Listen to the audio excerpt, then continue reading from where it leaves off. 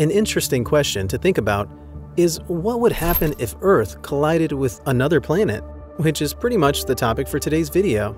There are a few disastrous consequences that we may encounter in the process, and we would possibly experience a few positive changes as well if Earth collided with another planet. The whole idea of two planets colliding probably sounds like a science fiction, but when we look closely at NASA reports and findings, it may have actually been a reality not too long ago. There is the notion that two rocky exoplanets are thought to have collided some years back, and the results seemed quite catastrophic. Following this collision, NASA detected very high levels of debris in the solar system. Aside from that, according to a NASA research scientist known as Jan Heldman, there is a huge possibility that the moon was formed out of debris thrown into the Earth's orbit following a massive collision between a planetoid that was about the size of Mars and a smaller proto-Earth. Well, based on this, we can establish that if Earth collided with another planet, another moon would be formed. Inasmuch so, there is also the possibility that Earth colliding with another planet may be a disastrous encounter with no survivors on Earth left. Well, let us try and explore the timeline of how things would play out from the onset of a collision to the results. Prior to the collision, let's say a few weeks, days, then hours to the collision. A few weeks to the collision, an unknown object would suddenly appear in the sky and you may notice Earth starting to grow bigger for some reason.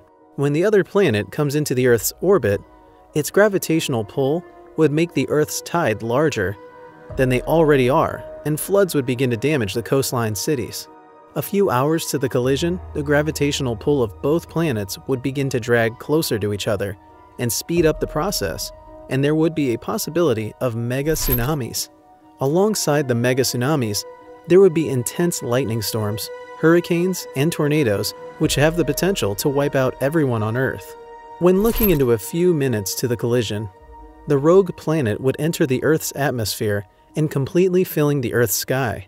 In the process, the intensity of the earthquakes, floods, volcanoes, hurricanes, and mega tsunamis would increase drastically.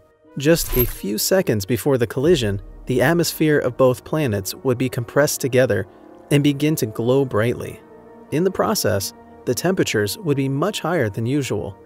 It would get hot, and everything in Earth would vaporize instantly, and the ground would suddenly become scorching magma. So, what really happens upon impact? There would be a lot of friction between the two planets due to the collision. Once the friction is higher, the rotation of both planets would be much slower than it already is, and in the long run, the friction could stop the rotation of both planets in their orbits. The superheated rocks would then begin to send a wall of fire in all directions of the Earth, and the shockwave running across the Earth would inundate the Earth in a very short period of time.